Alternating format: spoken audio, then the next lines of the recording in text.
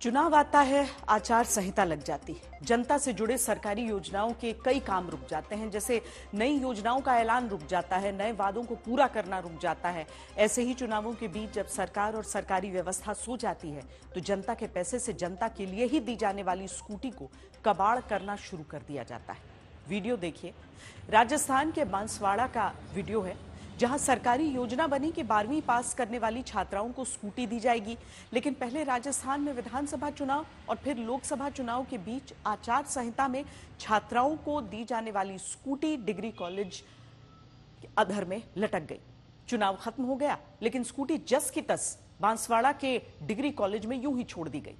एक साल होने वाला है। सरकारी विभाग अब इन स्कूटी को बांटने के लिए जाग ही नहीं रहा।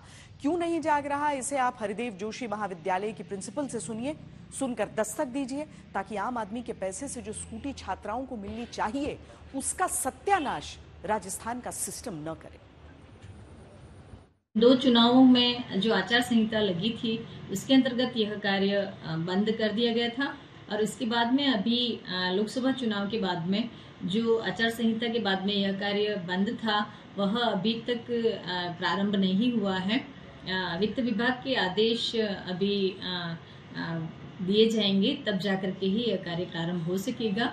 तो मैं यही कहना चाहती हूँ कि यदि वित्त विभाग के आदेशों के अंतर्गत क्यूआर कोड जारी कर दिए जाएँ छात्राओं के लिए तो जल्दी ही हम उसे शोरूम में भिजवा करके और यह जो स्कूटी वितरण का कार्य है वह समय पर प्रारंभ हो सके।